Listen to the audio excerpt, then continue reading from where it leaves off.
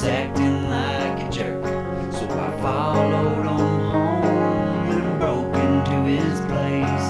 And then I masturbated into his pillowcase.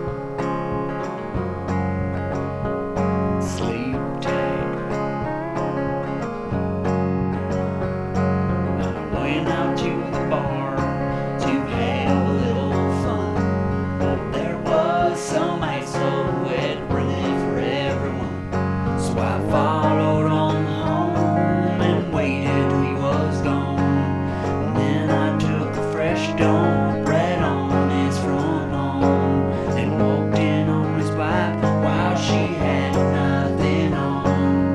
Then I sent him a picture of her holding on to my dog.